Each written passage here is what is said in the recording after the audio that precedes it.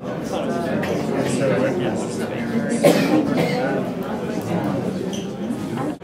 that's a different.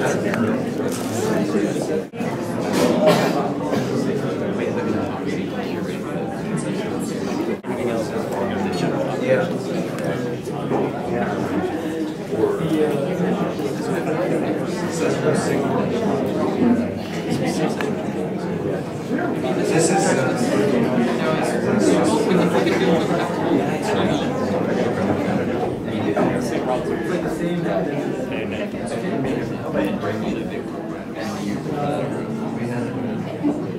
worked before.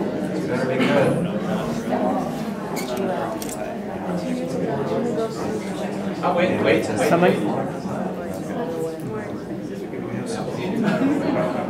Update later. I don't know where to click. I think it's switching. I think that's them right now. Yeah. They're switching back towards the course of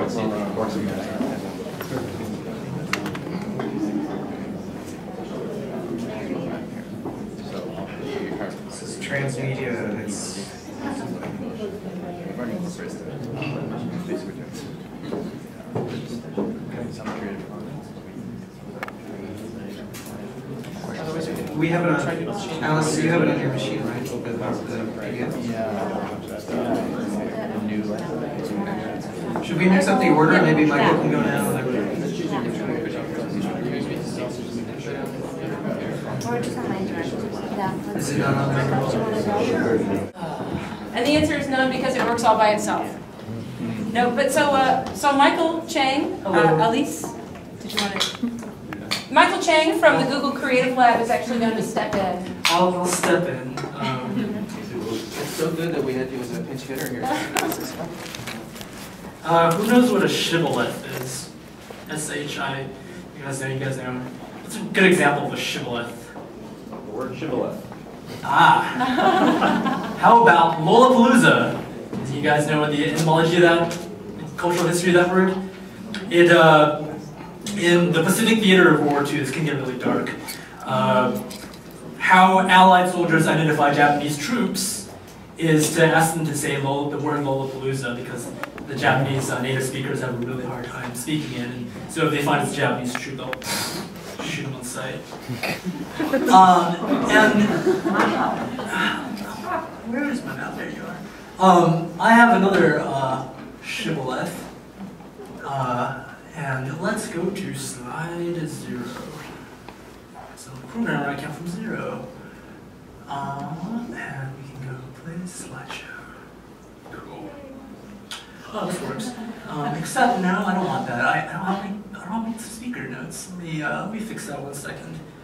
Excuse me. Um, okay, cool. And then let's try that again. No, no speaker notes. All right, I'll do my best. Hmm, that's fine. Oh, how about this? I can do this. Um, there's my speaker notes. and I'm going to try my best to pan around. So, my talk is called Around a Candlelit Orrery. Orrery is just another uh, shibboleth because I have a hard time speaking and saying this word. Um, and who knows what an orrery is, actually? Um, where's my, High presenter notes. High presenter notes. Thank you.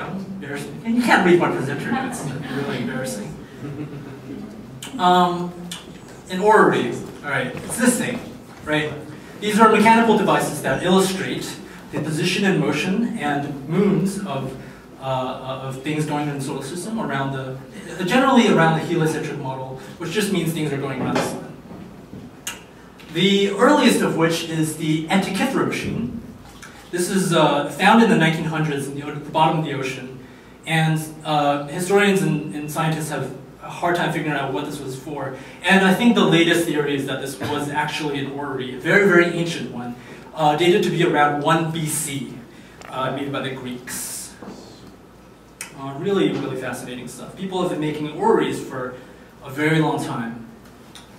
This painting, a lovely painting by uh, British painter Joseph Wright in the 1700s, Uh, the title of the painting is called A Philosopher Lecturing on the Orrery. In the middle is the orrery, and around are children listening and, uh, and, and learning about the solar system as, it's a, as if it's a story time at a campfire.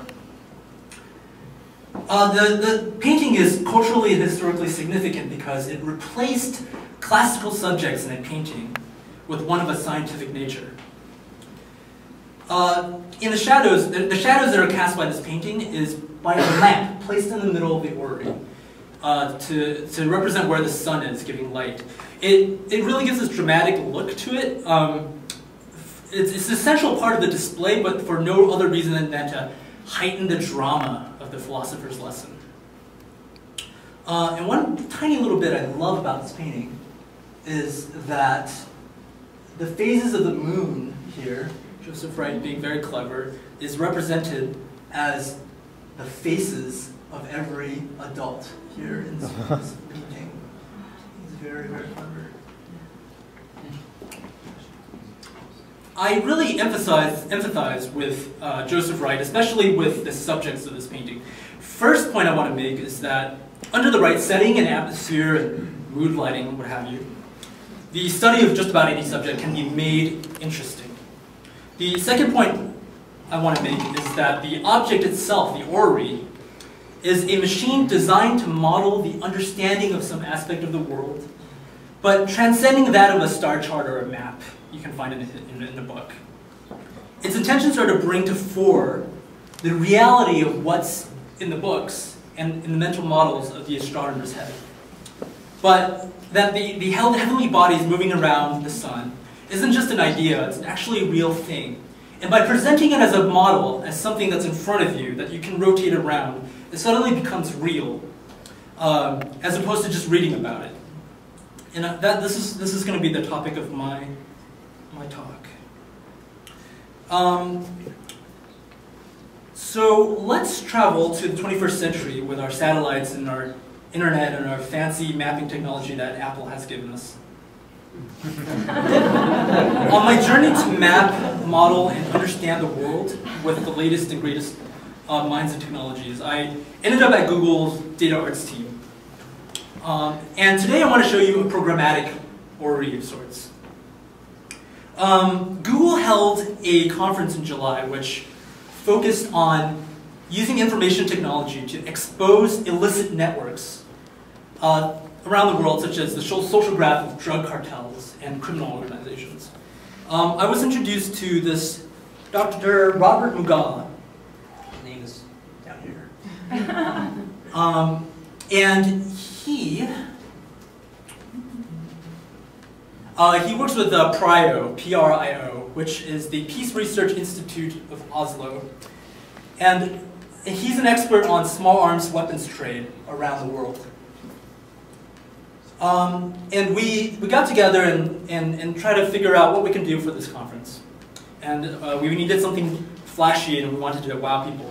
Of, and, and also to bring to fore a lot of these problems that Google is dealing with, uh, uh, with, with this conference. so we have this data set that looks something like this. And this is a data set that contains trades between countries for weapons um, over the course of 12 years, from 1998 to 2010.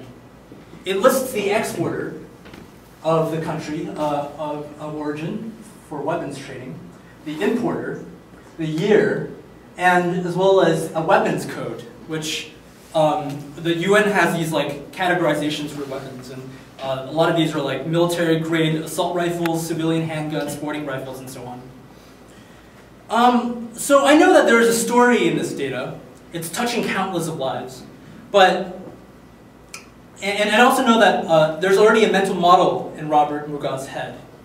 How do we make that real? So I start by mapping each country into a lat long, latitude and longitude. Uh, any position around the world in the globe can be represented by a latitude and longitude. Um, and, and map the data of every single trade onto a sphere and draw lines to illustrate which each trade uh, is going by every country. Now keep in mind that I'm doing all of this in WebGL, which is just a fancy way of saying accelerated graphics on the web. Um, this is a relatively new thing. It allows high performance graphics. Uh, you don't have to download anything. You can just go to a URL and look at it in your web browser. It's really fancy, really nice. Uh, so long as you're using Chrome or Firefox. so here are some failed attempts at essentially trying to give the data a haircut, quite almost literally. Uh, I was trying to create form uh, and also sort of try to ignore ignore what's what's actually there, but actually try to see the data first. Now I'll, I'll get into the detail about this, is, but I'll just show you some pretty pictures first, uh, and, some more failed attempts. Um, I ended up with something akin to this. I settled on an overall way of representing the, the connected countries, and I started working on cleaning up the readability of this data visualization. So early on, every country here is represented by a different random color, and every line has those colors. It's sort of hard to see in this image. And this actually created a lot of visual noise and reduced visibility, uh, readability. So, I, so that's something I want to immediately address. The next, I started uh, adding these uh, particles that fly around, they, they, they go down the length of these lines, and they give you a direction for the trade, right? It's like, okay, so this uh, particles are coming out of here and it's going to that country, so it must be going, these, these are the trades, uh, uh, these are the exports from that country to the imports to that country. And uh, I replaced the geometric representation of these countries. Originally, I had this like fancy hexagon thing uh, to something a little bit clearer with uh, political borders. And eventually, I want to add text labels and stuff so I can see like what country is what because you know not everybody is good at geography. I'm awful at geography. I come from North America. uh, the really tricky part about uh, this was figuring out how to communicate the categories of weapons trade, civilian, military, and sporting, uh, that the UN had categorized. We eventually rolled up all the sporting weapons into, into civilian uh, category, and to just further simplify things down. Here's an early version which uh, the, the screen represent uh, civilian weapons, on top of that military weapons in red, and on top of that ammunition in blue. Uh, this gets really, really confusing because this, the colors start blending together and they started creating colors that are out of context of this visualization. You start getting pinks and purples and who knows what else, and they don't really mean anything anymore. So that's not good. I'm going to do something with that. Uh, eventually, we started. We set. We just settled. Uh, I think this is probably my proudest part of my career is just to cut it out, just simplify it down, um, and make just exports blue, and then uh, exports red, and then imports blue. There we go. Uh, so it eventually looked something like this. United States exporting weapons, or sorry, importing weapons from Spain, this visualization. Uh, and so here's a couple more images. Uh, this one's still from the multicolored, the tricolored one, different categories. Uh, eventually ended up looking at something like this. Okay, so I want to take a second to refer back to this painting and remind ourselves that I spent all this time making it look visually appealing. For the same reason that uh, the philosopher, the philosopher lecturing on the orrery lit a candle to create a dramatic effect.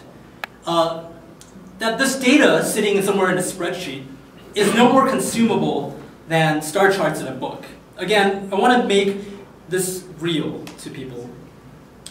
And in this case, Robert is the philosopher, and I am the orrery maker. Here's what the final piece looked like. Uh, I'm going to refresh this because it's all messed up now.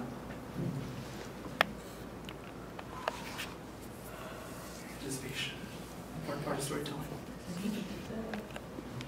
It's still a little bit messed up. That's okay.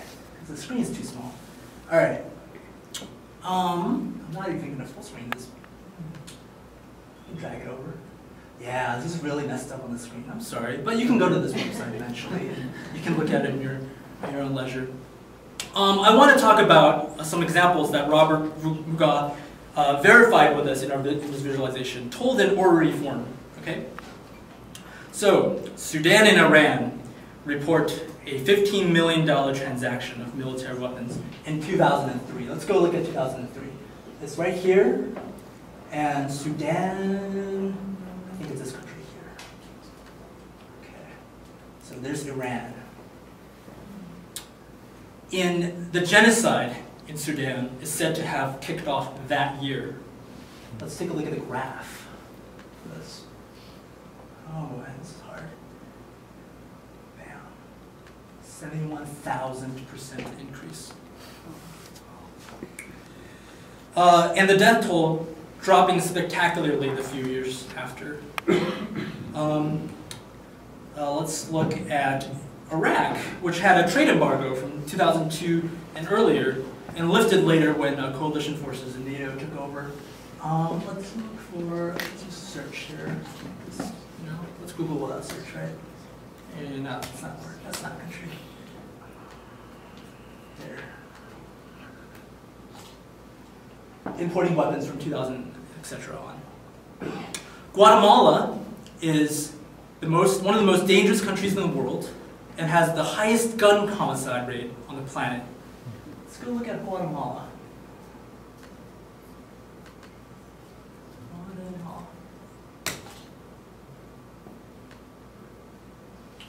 Oh, this is, this is totally blocking the view. All right. Um, it has a 700% increase in imports since the end of the Civil War, uh, since uh, 1996. Today, criminal violence claims more lives in this country than at the height of the Civil War. Um, I'll skip ahead to Russia. Let's take a look at Russia.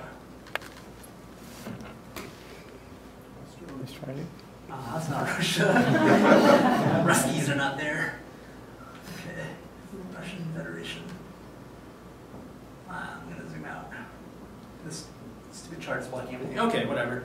Um, uh, perhaps one of the most staggering increases in official arms trade since the end of the Cold War is Russia. In 1992, reported uh, exporting less than $10 million.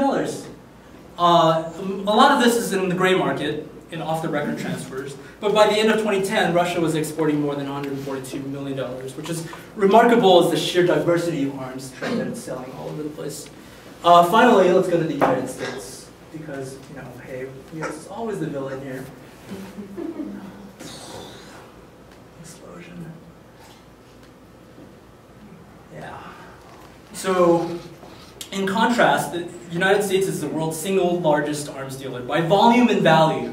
It's also the world's largest arms importer. In 2010, for example, the U.S. imported uh, imported some 605 million dollars, but uh, exported 605 million dollars, but imported about a billion dollars in arms due to the sort of voracious uh, domestic appetite for weapons. There you go. So, ah, where are you labeled? Okay, it's cut off here. Um, uh, I want to close by saying that these numbers are often overlooked by the UN because while horrific, um, the dollar number pales in comparison to the amount of money spent on jets and bombs, yet the number one killer in global conflict is still small arms. Um, I want to close this horrifying story and, and turn it back to a lighter note.